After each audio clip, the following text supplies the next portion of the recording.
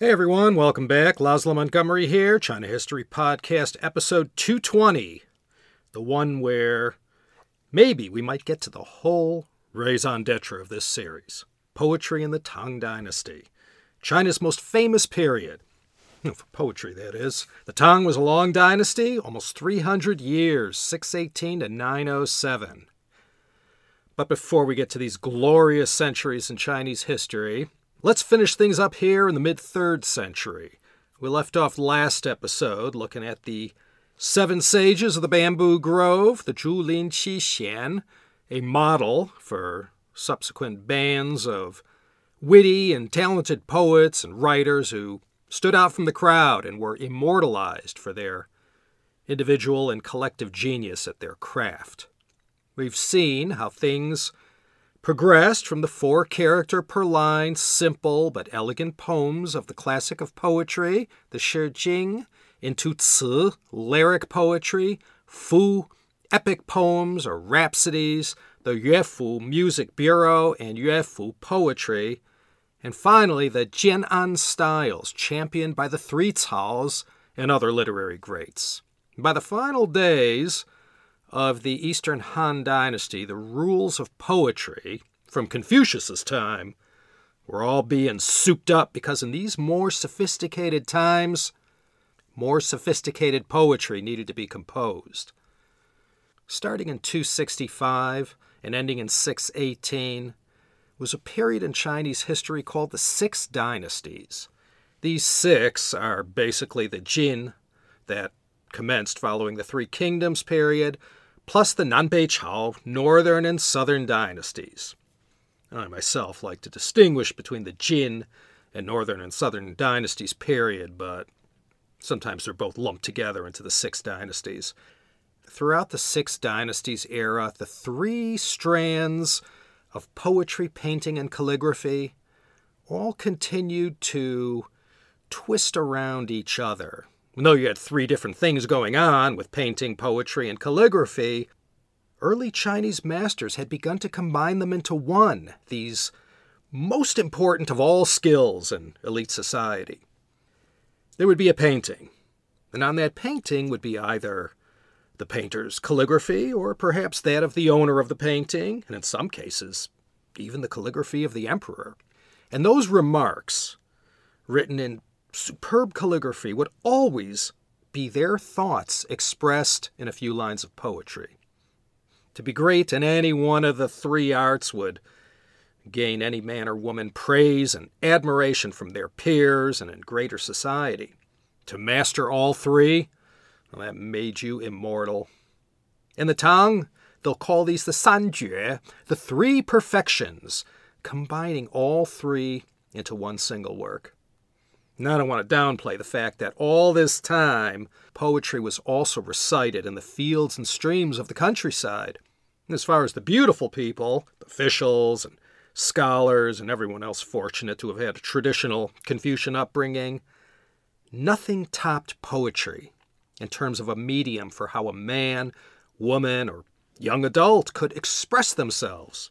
And when people got together, especially in the top rungs of society, in all kinds of forms and as a part of certain drinking games, occasions, customs, or a form of ancient Chinese repartee. Poetry was how you said it. And like I said, if you were good at it, people looked up to you. In the Tang, poetry was so woven into the fabric of daily aristocratic life. When you went to visit someone and they weren't home to receive you, you didn't leave a note, you left a poem to describe a moment in time, you might express it in a poem. By the Tang, this was how it was. Just like in the Han Dynasty, because of the Silk Road. By the Tang Dynasty, those trade routes, first carved out in the second century BCE, had come a long way. China was awash with all kinds of new cultural influences from people from all over the known world who packed up their wares from where they came from and took that half year journey to trade in the Tang capital, Chang'an, and in all the great trading centers between the Levant and Japan. So, all these happenings with these mingling of cultures going on, energized by the impact of this growth in commerce, naturally had some spillover effect on the new poetry that was becoming popular. At the outset of the Tang Dynasty, by an LBJ landslide, the most popular single reservoir of Chinese literature was the Wenxuan, a work with the no nonsense title of Selected Works of Literature. It was compiled by Xiao Tong, eldest son of another literature loving Emperor Wu, this one the founder of the Liang dynasty, the third of the southern dynasties in the northern southern dynasties period. Emperor Wu of Liang reigned 502 to 549, and during the 520s, Xiao Tong worked with a group of scholars to compile what they believed to be the best of the best as far as poetry and prose was concerned in China, from the end of the Warring States period up to that current time in the 6th century. And here with the Wenxuan, we can see literature just making its start as something other than a tool to please or serve the royal court. This Wenxuan, these selected texts, contain 761 works of prose and poetry from 130 writers. There were 37 categories of literary works, including styles we discussed last episode, ci or sao poetry, and a great number of fu rhapsodies and shi poems. And this literary anthology became the gold standard for a long time as far as the greatest single compilation of poems from China's ancient past. The five Confucian classics and the great works of Taoism were left out of the Wenxuan on purpose. Mean, those were in a class of their own. Xiao Tong and his team of librarians and scholars put it all together. And though this eldest son of this Liang dynasty emperor literatus never lived long enough to become king himself, the importance of this work and his name that is attached to it still gave him a nice amount of street cred in Chinese history. I know we sort of heap all the glory on the Han and Tang dynasties, but the Six Dynasties period, from the conclusion of the Three Kingdoms to the Sui, was also a most fertile time for all kinds of literature. As I mentioned last episode, this was the part of Chinese history when Buddhism and Taoism hit the big time. So this compilation, the Wenxuan, remained a must have addition to any scholar's library till yeah, about the time of the Yuan dynasty when, you know, after 700 years, it was starting to become a little out of touch with the times. Will they ever say that about John Paul, George, and Ringo? Not all of it, but a lot of the works contained in the Wenxuan managed to make it down to our modern times. And a lot of it, interestingly, ended up being discovered in the caves of Dunhuang.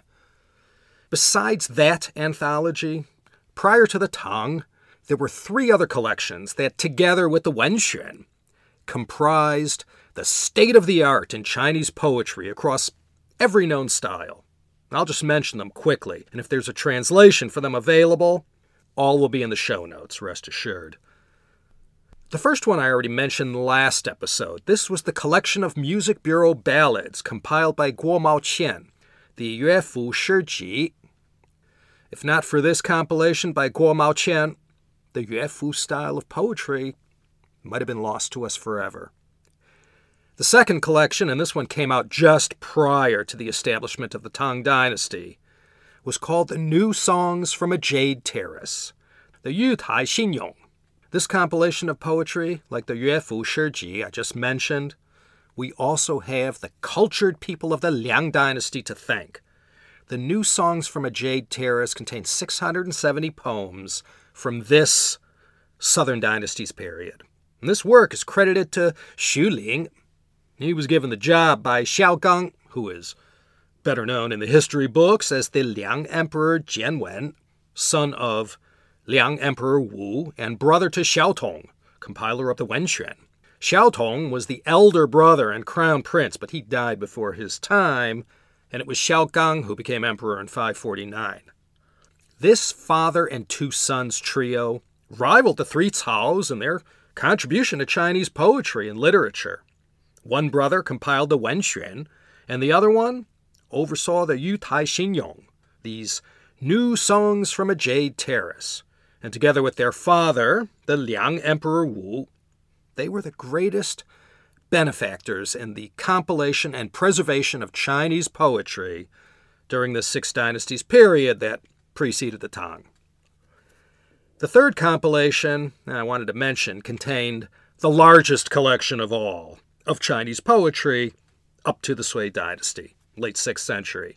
And this collection, compiled in modern times in fact, is called the Xian Qin Han Wei Jin Nanbei Chao Shi and is conveniently arranged chronologically, and each poet was given a short bio and valuable commentaries on their poems. Qin, Han, Wei, Jin, Nanbei, Chao are just the names of the dynasties and periods from 221 BCE to 589 CE. It's as much a reference book as it is a compilation of poems. This is probably the most exhaustive work of its kind for that pre Sui dynasty period. Thankfully, between these three works and others that also survive in fragments and as parts of lesser known compilations, we have a rock solid repository of pre Tang Chinese poetry that offered some imagery of those times and lets us peek into the minds of the people who lived in that period from over a millennium ago. One last thing the amount of poetry that got written in ancient times far, far surpassed what we in our day managed to receive. I've said it before, much more was lost than what we got to enjoy today. But for a poem to get inclusion into any of these anthologies or collections that were commissioned by royalty, they had to be good. To make it into these works, there would always be a team of committed scholars, picking every character of every line of the poems apart and determining if the composition they read was worthy of immortality and whatever they were commissioned to edit and compile. So, what we get to read today truly is the best you can get. And last point, without all these compilations that I've mentioned, going back to Wang Yi and the Chu Ci Zhang the quantity of poems received in our day would be even much less. The first ones to put the Tang Dynasty poets on the highest possible pedestal were the people of the Song. It was in the Song Dynasty, roughly 960 to 1279, that the greatest Tang poets were lionized for their achievements in taking this most Chinese of cultural treasures to its highest possible form. And pretty much ever since, Tang Dynasty poets have always stood slightly off on their own as the greatest Chinese poets of all time. And the greatest time for poetry in this greatest of dynasties was the High Tang, the Sheng Tang. It took a while to get there, so we'll begin with the early Tang first, the Chu Tang. The early Tang was roughly 618 to 713, Gaozu to just before Xuanzong. This was the period of Wu Zetian. So you know, Buddhism has already permeated every corner of the Tang Empire. Four superstars who best represented the collective achievements of the time that preceded the High Tang were the Chu Tang Sijie, the four paragons or four eminences of the early Tang or Chu Tang. These were Luo Bin Wang, Lu Zhaolin, Wang Bo, and Yang Jiong. They came right at the beginning of the dynasty, mid 7th century, and kicked off what would be called China's greatest centuries for classical poetry. History remembers the four paragons of the early Tang as the earliest group of Tang poets who began to break with the past styles and, and begin something more fresh and current. At the outset of the Tang, this early Tang period, the Wu Yan Lu Shi had become the style that everyone began to compose. Wu Yan, it just means five characters. A Lu Shi was this relatively new hip poetry that really gathered momentum during the early Tang. A lot of the great stuff that followed in the High Tang came from these Wu Yan Lu Shi, these five characters per line, eight lines, regulated verse. There were five characters per line, and then this got pushed out to seven. And the seven character per line poem was called a Qi Lu poem versus the five character per line Wu Lu style. Qi means seven, Wu means five. No matter five or seven characters per line, these Lu Shi style poems all had the same rhyming pattern, always on the even lines, and whatever the rhyme was, it stayed constant throughout the poem. The evolution of this Shi style of poetry, I guess you can go back to the Gu Shi style with its Confucian overtones, four to seven characters per line, and this led to the Jin Ti Shi. Jin Ti just means modern form or modern style, and Shi means poem. It's the opposite of Gu Ti Shi. Gu means old or ancient. In fact, the Chinese character Shi, in the end, huh, became the Chinese character that ended up being sort of uh, an umbrella character for all forms of poetry. If you said you like Chinese poetry, you would say you like Chinese shi. Then, once that was established, you could get down to the nitty gritty of the particular styles that appeal to you. By now, you're familiar with some of them. Jin Ti Shi became simply known as regulated verse, and it was this regulated verse in all its forms that became one of the hallmarks of the Tang Dynasty. All the greatest Tang poets I'll name between now and the final bell were all masters of this Jin Ti Shi poetry. They didn't invent it. It first appeared during the Liang Dynasty, that nice, fertile period for Chinese culture. Like all the past and future paragons of poetry, each of these four eminences of the early Tang have their famous poems attributed to them. And not all of these Tang poems were in the Jin Ti Shi styles. Poets in the Tang were still composing ci poetry in the style of Qu Yuan as well as Fu rhapsodies. That stuff didn't go out of style and still had centuries of staying power left in them. As far as the one name that more than any other deserves a mention with respect to ushering in this new Jin Ti Shi regulated verse, there was one. He was Shen Yue, who lived 441 to 513. That puts him in the Liu Song and Southern Qi dynasties, the two southern dynasties that preceded the Liang. So this regulated verse and all the tones and rules and regulations started with Shen Yue in the Six Dynasties period and was later taken to its highest form by these Tang poets, starting, of course, with the early Tang. The tail end of the early Tang period, the time of Wu Zetian, there was already no shortage of renowned poets.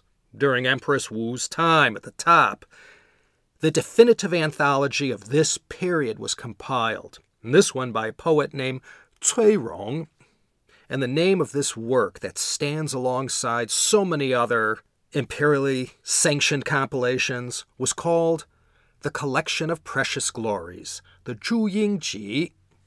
This anthology of poems contained the works of Cui Rong, Li Jiao, and Zhang Yue.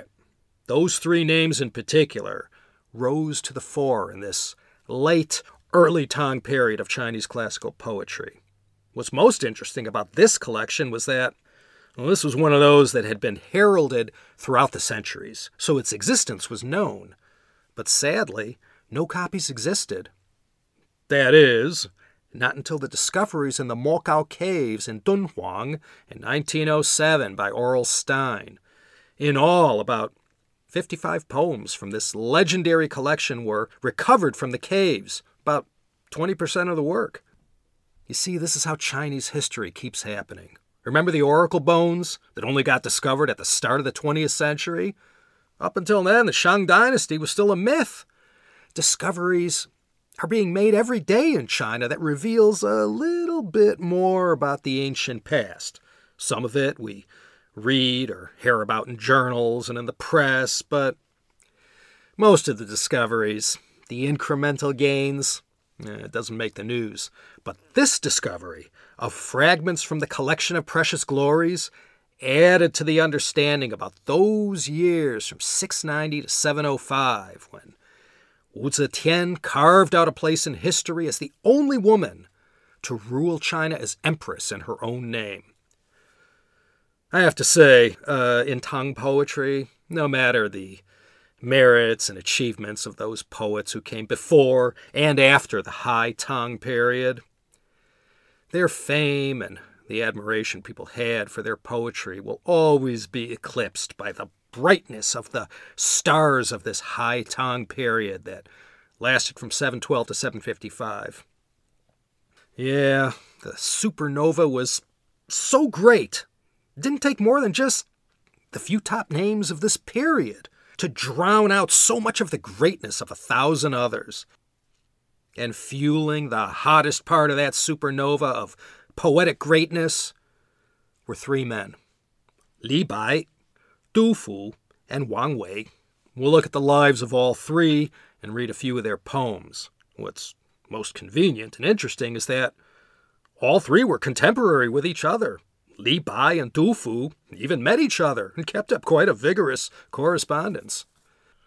The rock and roll equivalent of this high Tang era would have been England and America in the 1960s. And you could rest assured during a period such as this, when so many greats were all composing poetry all at the same time, these renowned Tang poets, well, they didn't form bands or anything, but so popular were they, and so beloved were they by all lovers of poetry, many of them would be immortalized by being a member of certain groups with some catchy name that maybe defined them. And by remembering these legendary groups of poets, it helped put some historical background behind their work. The High Tang kicked off with the Four Gentlemen of Wuzhong, the Wuzhong Si Shi. These four all came from Jiangsu and Zhejiang, two provinces in China that decade after decade and century after century would time and again keep delivering some of the greatest literary figures in China's long history.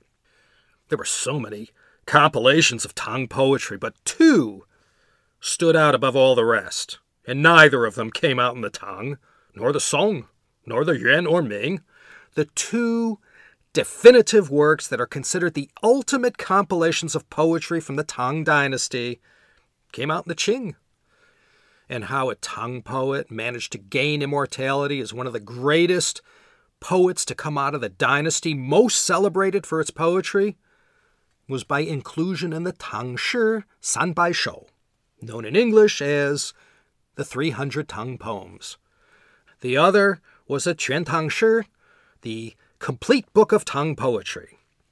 This Quan Tang Shi, this complete book of Tang poetry, this work preceded the 300 Tang poems and had as its sponsor no less an emperor than Kangxi himself, who called for all known Tang poems in his day, early Qing dynasty, late 17th, early 18th century, to be compiled into one single comprehensive work. And after all the heavy lifting was done, and this team of scholars had scoured the land for any and all poetry composed in the Tang. when it was presented to the emperor, there were 49,000 poems culled from 2,200 Tang poets of various renown.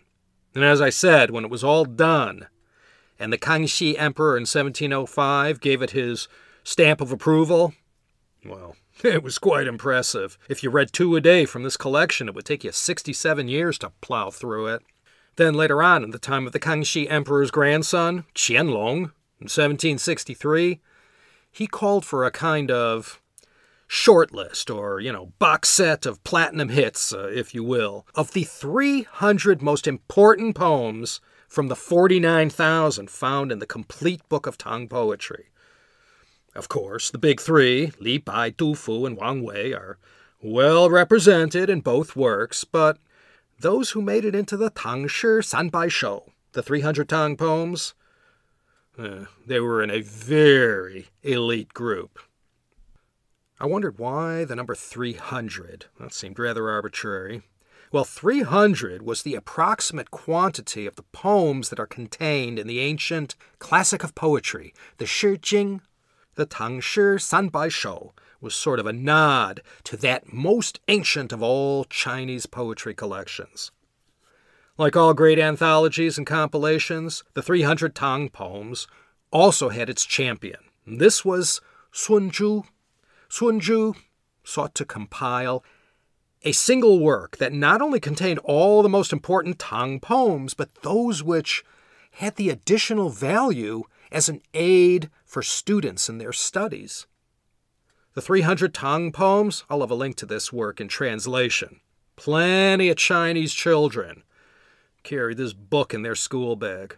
I doubt it's much used today, but back in the day, Qing and Republican period, it was like Dick and Jane. It was a schoolhouse staple.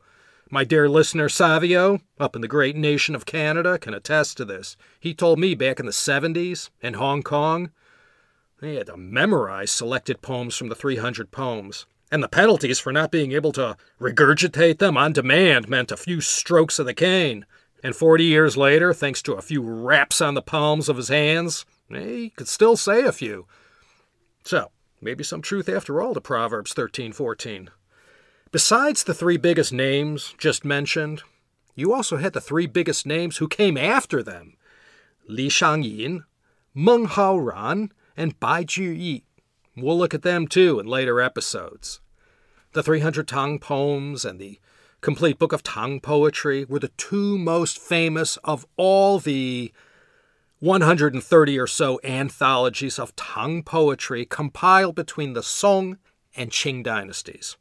Plus, later on, after the discoveries of Dunhuang were cataloged and studied in the early 20th century, even more Tang poems were added to the vast reservoir already received.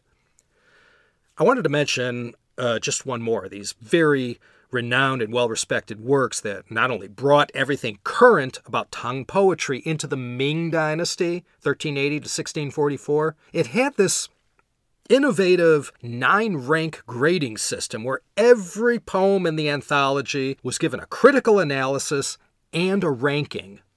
In toto, this work, known as the Tang Shi Pin Hui, contained 5,769 poems from 620 Tang poets, and the name, forever associated with its compilation, was Gaobing. In English, Tang Shi Pin was called the Graded Compendium of Tang Poetry. Anytime a poem was accompanied by some kind of commentary or ranking, as in the Tang Shi Pin It was like not only getting the poem, but the cliff notes as well that helped to provide further insight into the poem's meaning from scholars who lived much closer to the times when these poems were actually composed. Let me say again, that's a constant throughout the history of Chinese poetry. As soon as enough time had passed, emperors would, you know, often in their quest for immortality, call for someone to go see where the country was at this moment in China's history with respect to its poetry and literature. And lucky for us, these great works would get painstakingly compiled by passionate scholars, and each dynasty had their own mega projects that they championed. And the bottom line is that, thanks to many of these imperial vanity projects, there's more Tang poetry that made it down to our time than we can almost ever read. In the next episode, we're going to start examining the main poets of the High Tang period, the Sheng Tang. High Tang, it's a dramatic way to say the poetry that was produced during the 43 year reign of Emperor Xuanzong. He had one of his poems included in the 300 Tang poems. I guess, all things considered, since this High Tang period yielded such a rich harvest on the Xuanzong Emperor's watch, it's only right that they, you know, gave him a little face and included one of his poems among the elite 300. He was the son of the Ruizong Emperor, which meant his gran was Wu Zetian. Like emperors Wu of Han and Liang, Cao Cao and his sons, and many emperors who followed him, Xuanzong was a hardcore patron of the arts. Like I said, sort of styled himself as an emperor literatus. Not the first, and not the last, that's for sure. His enthusiasm for theater and dance was especially strong, and he's sometimes called the father of Chinese theater. And he was also said to be very accomplished in the Chinese martial arts. So a guy like this, who had his pedigree, his dramatic story prior to the commencement of his reign, his love of learning, theater, literature, the arts, and such a long reign to boot. It's no wonder Tang poetry enjoyed its golden age during this reign of Li Longji, the Xuanzong Emperor. Next episode, we'll start looking at all the greats and eh, maybe hear a few poems, you never know.